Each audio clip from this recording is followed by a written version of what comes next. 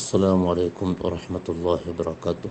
الحمد لله والصلاة والسلام على أشرف رسول الله وعلى آله وأصحابه الفائزين بالله ما بعد.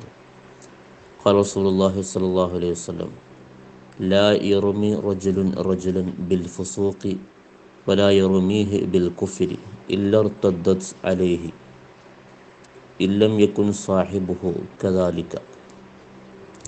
ലാ യറുമി റജുലുൻ റജുലൻ. ഒരു മനുഷ്യൻ മറ്റൊരു മനുഷ്യനെ ആരോപിക്കുകയില്ല.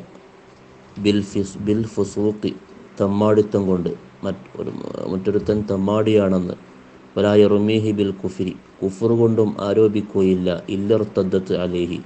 ആ കുഫറും ഫുസൂക്കും ഇവന്റെ മേൽ മടങ്ങി വന്നിട്ടല്ലാതെ. അപ്പം നാം ഒരാളെ തമ്മാടിയെന്ന് ആക്ഷേപിച്ചാൽ അല്ലെങ്കിൽ കാഫിറെന്ന് ആക്ഷേപിച്ചാൽ ആ ആരോപണം ആരോപിച്ചാൽ ആരോപണം നമുക്ക് മേൽ തന്നെ അത് മടങ്ങും. ഇല്ലം യക്കുൻ സാഹിബുഹു കദാലിക്ക ആരോപിക്കപ്പെട്ടവൻ അപ്രകാരമായിട്ടില്ലെങ്കിൽ. അപ്പോൾ ഒരു മനുഷ്യനിൽ എന്തെങ്കിലും കാണുമ്പോഴേക്ക് നാം വിധി എഴുതിയാൽ അവൻ കാഫിറാണെന്നോ അല്ലെങ്കിൽ ദീൻ ഇസ്ലാം എന്ന് പുറത്തുപോയി എന്നൊക്കെ വിധി എഴുതി കഴിഞ്ഞാൽ യഥാർത്ഥത്തിൽ അവന് അതിന് അങ്ങനെ പോയിട്ടില്ലെങ്കിൽ അങ്ങനെ കാഫിറായിട്ടില്ലെങ്കിൽ ഈ ആരോപിച്ച വ്യക്തിയിലേക്ക് തന്നെ ഇത് മടങ്ങും. എന്ന് വെച്ചാൽ മറ്റൊരുത്തനെ കാഫിർ എന്ന് വിളിച്ചാൽ അവൻ കാഫിർ അല്ലെങ്കിൽ ഇവൻ കാഫിറാകും എന്നാണ് പറയുന്നത്.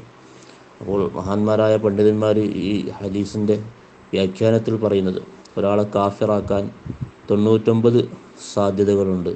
അതേസമയത്ത് ഒരു സാധ്യത അവൻ മുസ്ലിം ആവാനുമുണ്ടെങ്കിൽ ആ ഒരു സാധ്യത ഒരു ശതമാനം വെച്ച് അവനെ മുസ്ലിമാക്കണം എന്ന് തന്നെയാണുള്ളത്.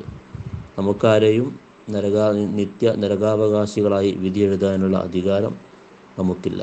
അതുകൊണ്ട് തന്നെ ഇത്തരം പദങ്ങൾ ഉപയോഗിക്കുമ്പോൾ നമ്മൾ വളരെ സൂക്ഷിക്കേണ്ടതുണ്ട്. തക്കബലല്ലോ